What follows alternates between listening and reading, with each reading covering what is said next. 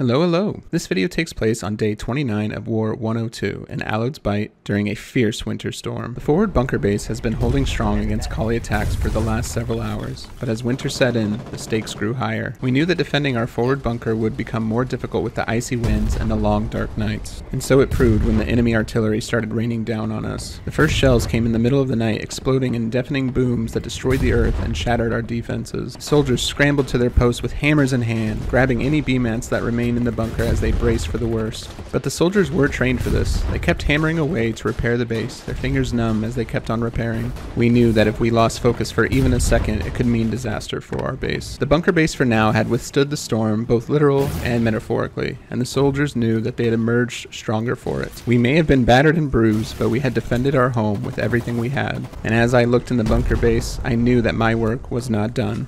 Alright, we successfully held off that barrage of artillery, and it looks like we are basically out of B-mats. Alright, let's take a look at the map here, take a look at Saltbrook. Looks like MSA's loot box is gone, so there's no B-mats. There's some cars, though, that we could use. There's nothing in this storage depot. We're looking for some B-mats. Foxcatcher always has some B-mats. It has a flatbed and container as well. So, alright, we will head to Foxcatcher, make sure we get rid of everything in our inventory.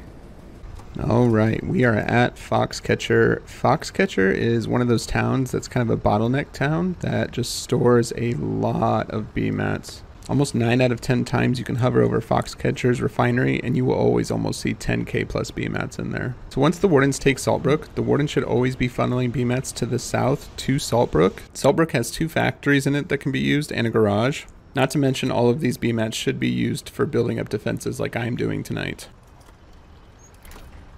Alright, our container is full of 60 B-mats. We're going to be taking this to Saltbrook, where we will get a Logi truck and fill it up with 15 B-mats, and then head back to the front.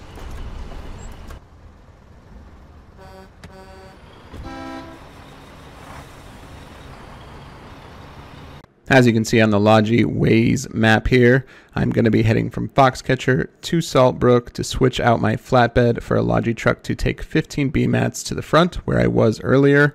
Logi Waze is a fantastic website to use. I will try and remember to link it in the description. I would just like to point out that this is an excellent task to do during nighttime. Later in the war, a lot less happens at night because tanks don't want to push during the night. If you want to be useful during the night, grab some B-mats and start to build up your base. Or like my situation here, we didn't have B-mats, so I decided to go get some B-mats before night ended. That way I'm able to do this quick Logi task and by the time I get back, it should be daytime. And if I want to do some infantry, I can jump right back into that, or if I still want to continue to build, I can do that as well.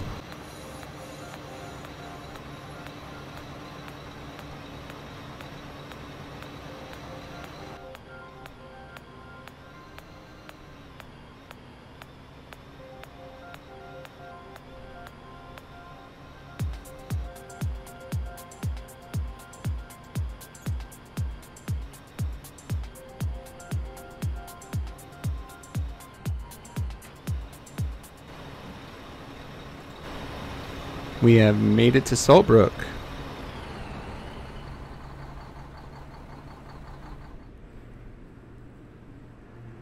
We are going to unload our B-mats into the seaport here.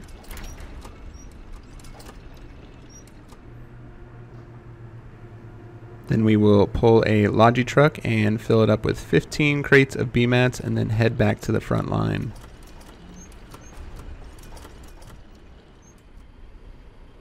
I did want to run over to the safe house real quick just to check the map and get the intel to see how many B-mats were there, just in case it was already overflowed with B-mats.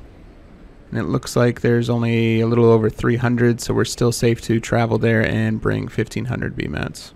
I was unfortunately only able to get a Logi truck with 14 slots. Why is this even a thing?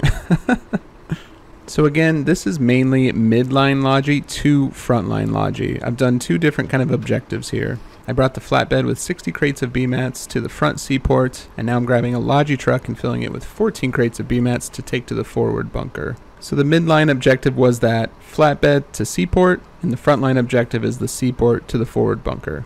Usually any frontline Logi that you're doing is to a forward bunker or maybe a forward relic base. And I kind of count midline as anything that is essentially not the back hexes. Maybe if any other Logi bros in the comments want to weigh in on what they think midline Logi is, that would be great. But I think it's everything in between taking things to the forward front bunker or doing stuff in the very back hexes.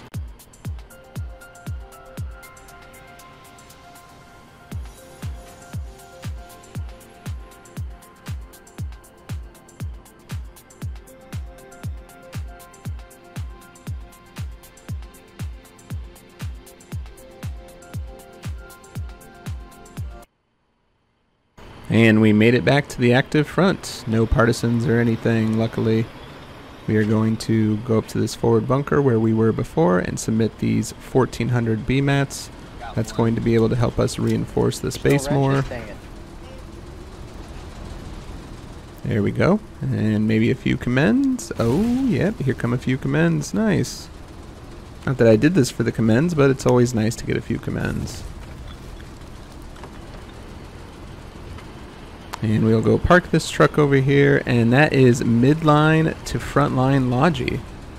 Let me know if you have any questions in the comments about any of this.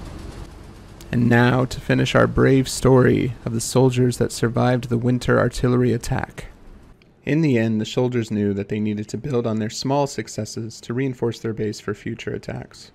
Though the soldiers were tired, they kept on repairing the damage and shoring up their defenses. They knew the enemy would be back, and they had to be ready. We would continue to build, to improve, and to reinforce our base for whatever challenges lay ahead. And we would do it together, as a team, with the same determination and dedication that had gotten us this far. And one hour later, we got completely ran over by Collie tanks. Well, you can't hold every forward base. Thank you all for watching.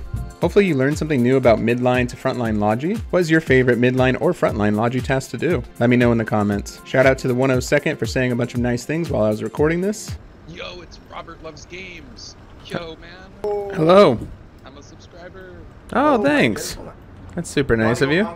Only about 7.4% of you are subscribed. I know subscribing can be pretty cringe, but if you liked the video, feel free to subscribe for more Foxhole content. And thank you to those that have become members of the channel as well. Becoming a member of the channel really helps support me and my family, so thank you. Stay safe out there, and cheers.